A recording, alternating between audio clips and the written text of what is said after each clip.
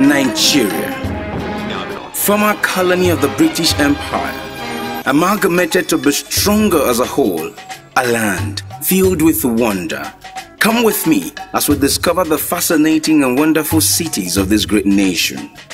We begin our journey in the northwest, in the ancient city of Kano, which was made the seat of northern government after being captured by the British in 1903. This part of the country boasts of the Dala Hills, an archaeological site of settlement dating back to the 10th century. Kurmi Market, one of the largest and oldest markets in Africa. A trip further down into Niger State, popular for its serene and tranquil surroundings, is the perfect destination for nature lovers. With Gurara Falls, which span 200 meters across and a 30 meter drop, the calm waters in the rainy season and the slow flowing water in dry season, coupled with the awesome display of exotic birds.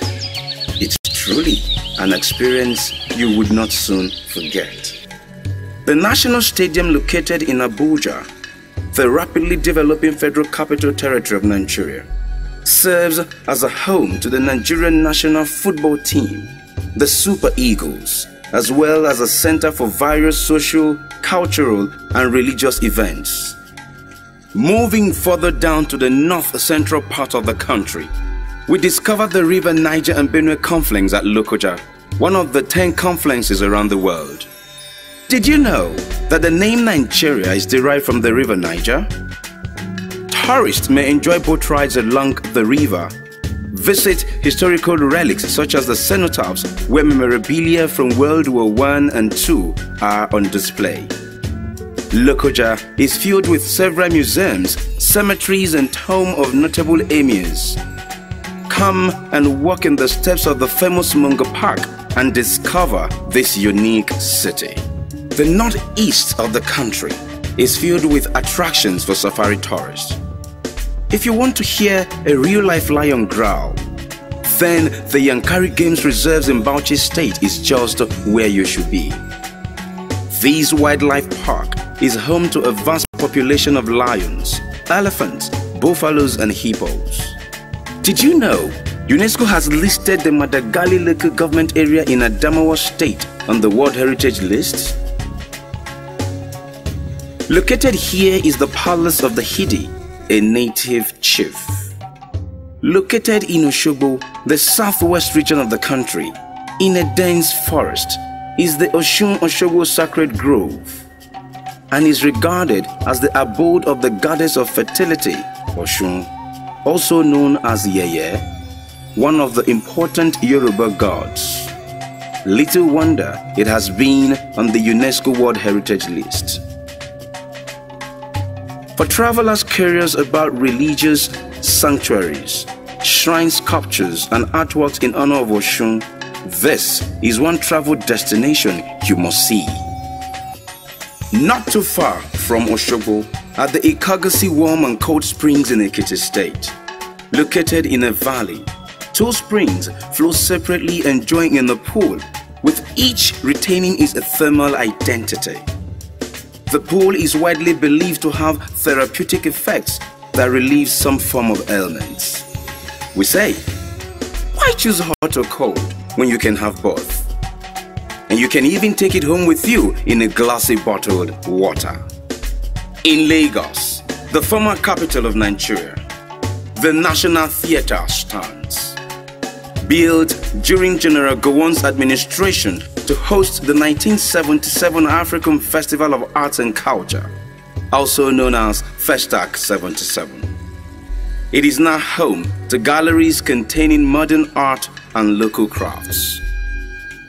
If Mount Everest seems too daunting, never fear, for in Calabar the Oban hills reside. Adjoining the Korup National Park in western Cameroon, a neighboring country. Surrounded along the north by the Cross River and drained by the Calabar and Kwa rivers. There is too much to explore. In Calabar, the National Museum Old Residence stands, a building that was prefabricated in Britain and then shipped down in pieces and erected on top of a consular hill in 1884 and was the seat of colonial administration for the Southern Protectorate of Nigeria at the time. To Owerre Ezukala in Anambra State in the southeast region we go. There resides the majestic Ogbaukwu Cave and Waterfalls. The Ogbaukwu is a dome of naturally carved rock formation which features cave tunnels in different directions, crevices and wells. At the entrance of the cave is a waterfall, gushing from a spring and tap, flowing down to form a natural beach at the bottom of the waterfall due to the sandy area at the bottom. The locals believe the cave is the home of the god Owerre Ezukala, performing an annual festival called Ajalonwito to appease the god. Your journey won't be complete until you see the panoramic view of Enugu from atop the Ugweme and Udi hills. This area is rich in natural resources such as coal and iron ore, which were discovered by a British team of miners sent by the colonialist government. Come along and see what you may discover.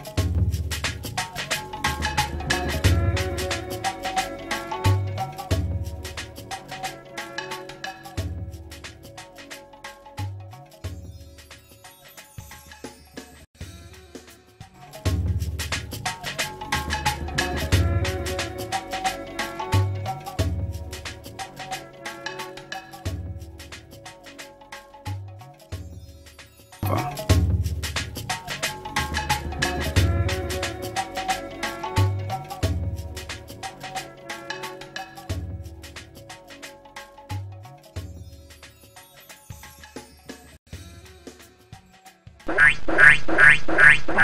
Ah!